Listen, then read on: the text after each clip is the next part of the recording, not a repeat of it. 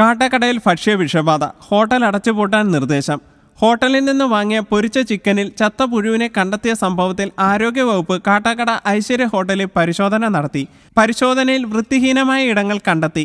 വിൽപ്പനയ്ക്ക് വെച്ചിരുന്ന ഉപയോഗശൂന്യമായ ഭക്ഷണ പദാർത്ഥങ്ങളും ആരോഗ്യവകുപ്പ് കണ്ടെത്തി. ഉടമയ്ക്ക് ഭക്ഷ്യവകുപ്പ് നോട്ടീസ് നൽകി. ഹോട്ടലിന്റെ പ്രവർത്തനം ഉടൻ നിർത്തി. ഒരു മണിക്കൂറിനുള്ളിൽ താഴിടാനും നിർദ്ദേശം നൽകി. ഒരു മണിക്കൂറിനുള്ളിൽ ഹോട്ടൽ അടയ്ക്കാതെ തുറന്ന് പ്രവർത്തിച്ചാൽ പോലീസുമായി എത്തി പുതിയ താഴിട്ട് പൂട്ടും എന്നും അധികൃതർ ഹോട്ടൽ ഉടമയ്ക്ക് താക്കീത് നൽകി. ഈ ഹോട്ടൽ ആരോഗ്യ വിഭാഗത്തിന്റെ നിർദ്ദേശങ്ങൾ പാലിച്ചു എന്ന് ബോധ്യപ്പെടുത്തിയ ശേഷം മാത്രമേ പ്രവർത്തനം അനുവദിക്കൂ എന്ന് ഉദ്യോഗസ്ഥർ അറിയിച്ചു. കിഴക്കേക്കര പുത്തം വീട് കാട്ടാക്കട. ഇന്ന് വൈകിട്ട് ഐശ്വര്യയിൽ വന്ന് രണ്ട് ചിക്കൻ ഫ്രൈ ഞാൻ വാങ്ങിച്ചുകൊണ്ട് പോയി. മൂന്ന് കൊച്ചു പിള്ളേർ കഴിച്ചിട്ടുണ്ടായിരുന്നു.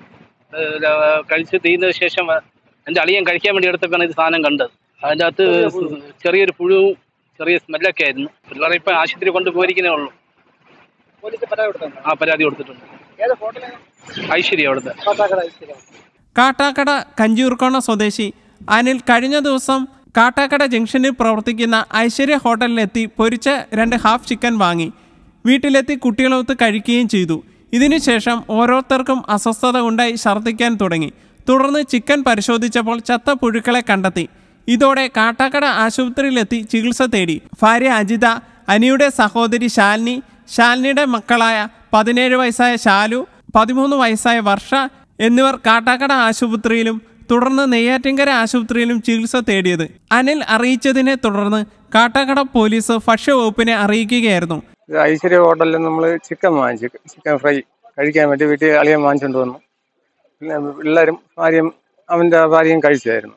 കഴിച്ചു ഞാൻ എനിക്ക് കഴിക്കാൻ പറ്റുന്നത് ഞാൻ ഒന്ന് എടുത്ത് തുറന്ന് നോക്കിയപ്പോൾ പുഴു പോലെ അത് ഭയങ്കര സ്മെല്ലെടുക്കണം നോക്കിയപ്പം ഒരു പുഴു ഒരു അതിനകത്ത് ഇരിപ്പുണ്ട് അതാണ് പിന്നെ നേരെ ഇവിടെ പോയി അവർ അവരെ ഒന്നും ഇതാക്കുന്നില്ല. അവിടെ നിന്ന് വാങ്ങിച്ചതല്ല എന്നാണ് പറഞ്ഞുകൊണ്ടിരിക്കുന്നത്. പിന്നെ പിന്നെ സ്റ്റേഷനിൽ പോയി അവർ പറഞ്ഞു ആശുപത്രി കൊണ്ടുപോകാൻ പറഞ്ഞു പിള്ളേരെ. കഴിച്ചവരെ എല്ലാവരെയും ആശുപത്രി കൊണ്ടു കാണിക്കാൻ പറഞ്ഞു. കാട്ടാക്കടയിൽ ഇത്തരം സംഭവങ്ങൾ ഉണ്ടാകുമ്പോൾ മാത്രമാണ് ഭക്ഷ്യവകുപ്പിന്റെ പരിശോധന നടത്തുക. എന്നാൽ പട്ടണത്തിൽ നിരവധി ഹോട്ടലുകളും തട്ടകടകളുമാണ് ഉള്ളത്. ഇവയേറെയും വൃത്തിഹീനമാണ്. എന്നാൽ അധികൃതർ പരിശോധനകൾക്ക് മുതിരാറുമില്ല. ഹോട്ടലുകളെ സംബന്ധിച്ച് നിരവധി പരാതികൾ ഉയരുന്നുണ്ട്. കോവിഡ് കാലങ്ങളിൽ നിരന്തരം പരിശോധനകൾ നടത്തിയിരുന്നു. എന്നാൽ തുടർ നടപടികൾ നിലച്ചു. ചില ഹോട്ടലുകളിൽ മിന്നൽ പരിശോധനകൾ നടത്തിയാൽ പട്ടണത്തിലെ ഒട്ടുമിക്ക കടകളും അടച്ചിടേണ്ടി വരുമെന്നാണ് നാട്ടുകാർ പറയുന്നത്.